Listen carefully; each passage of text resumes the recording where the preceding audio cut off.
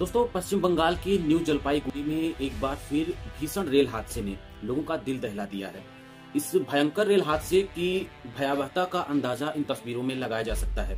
आपको बता दें, ये साल भर में छठवां ऐसा रेल हादसा है जिसमें दो ट्रेनें आपस में कोलिजन कर गई हैं। निर्दोष नागरिकों की रेल यात्रियों की जाने गई हैं। जान माल का भीषण नुकसान हुआ है। कवच सिस्टम के बारे में लोगों को पहचान करवाने वाले रेल मंत्री अश्विनी वैष्णव, क्या इस हादसे की पूरी ज़िम्मेदारी खुद लेने वाले हैं? क्योंकि ये छठवां ऐसा हादसा है, जिसमें दो ट्रेनों के आपस में टकरा जाने के बाद लोगों की, निर्दोष लोगों की जाने गई हैं। ऐसे में पूर्व रेल मंत्री और विपक्ष के नेता लालू प्रसाद यादव का ये सवाल है कि क्या इस घटना की ज़िम्मेदारी अब कोई नैतिक रूप से सामने आकर लेने वाला है? और दोस्तों, ये सवाल कोई हवा हवाई नहीं है। वाकई में ऐसा पहले हो भी चुका है।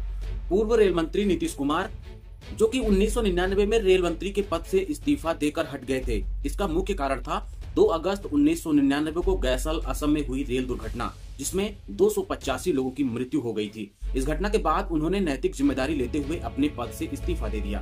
लेकिन दोस्तों, ऐसा दो ट्रेनों की कोलिजन में 200 से ज़्यादा लोगों की मृत्यु का ऐसा मामला ये मोदी सरकार के रेल मंत्री के कार्यकाल में पहला नहीं है। लगभग आधे दर्जन के करीब ऐसे मामले हैं, लेकिन अभी तक रेल मंत्री की तरफ़ से कोई इस्तीफा नहीं है। फ़िलहाल आपको बता दें कि इस रेल हादसे में अभी तक पाँच लोगों की जान जा चुकी पच्चीस लोग घायल हैं, मरने वालों की संख्या अभी बढ़ सकती है। इस पर अभी तक अश्विनी वैष्णव ने जो प्रतिक्रिया दी है, वो उन्होंने कहा है कि दुर्भाग्यवश एनएफआर जोन में जो ट्रेन की दुर्घटना हुई है, रेस्क्यू अभियान तेज़ी से चल रहा है। रेलवे, एनडीआरएफ और एसडीआरएफ बहुत ही तेज गति से काम कर रहे हैं। सीनियर ऑफिशियल्स साइट पर पहुँच गए हैं और लोगों को, घायल लोगों को अस्पताल में पहुँचाया जा रहा है। लेकिन दोस्तों, बड़ा सवाल ये है कि इस हादसे की ज़िम्मेदारी कौन लेने वाला है? प्रधानमंत्री इस हादसे की ज़िम्मेदारी लेंगे जो अलग अलग ट्रेनों की रेल जंक्शनों का उद्घाटन करने के लिए हरी झंडी दिखाते हैं या फिर कहने मात्र के रेल मंत्री अश्विनी वैष्णव।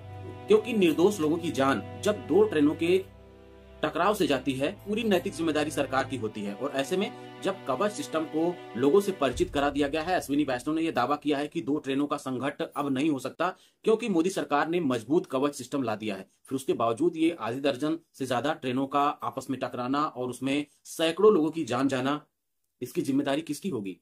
आपको क्या लगता है, क्या इस पर अश्विनी वैष्णव अपनी ज़िम्मेदारी स्वीकार करने वाले हैं, क्या इस्तीफा देने वाले हैं, या फिर बस यूँ ही चलता रहेगा?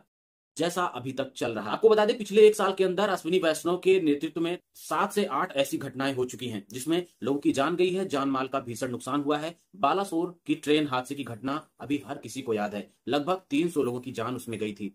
आंध्र प्रदेश के विजयनगरम में उनतीस अक्टूबर दो हज़ार तेईस को दो पैसेंजर ट्रेनों की टक्कर में चौदह यात्रियों की मौत हो गई थी। जामताड़ा में 28 फरवरी 2024 को कई लोगों पर ट्रेन चढ़ गई थी। हादसे में 12 लोगों की मौत हो गई थी।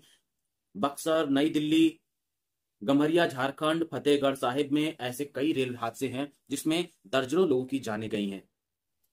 और ये सारी घटनाएँ पिछले एक साल के भीतर की हैं। लेकिन आपको बता दें, सिर्फ़ एक और अकेली घटना में नीतीश कुमार ने इस, रेल मंत्री नीतीश कुमार को इस तरीके से हताहत किया था कि उन्होंने पहली और अकेली घटना में 300 लोगों की मृत्यु होने के बाद इस्तीफा दे दिया था। लेकिन यहाँ तो अश्विनी, वैष्णव दर्जनों ऐसी घटनाओं के रेल मंत्री रह चुके हैं, जिसमें कुल मिलाकर 300 से साढ़े तीन सौ, चार सौ लोगों की जान जा चुकी है। अभी वो नैतिक रूप से इस मामले की ज़िम्मेदारी कब लेने वाले हैं, ये देखने वाली बात हो गोदी पत्रकारिता के जमाने में निष्पक्ष रिपोर्टिंग किसी चुनौती से कम नहीं। हमारी हौसला अफजाई के लिए वीडियो को लाइक, शेयर और चैनल को सब्सक्राइब करना न भूलें।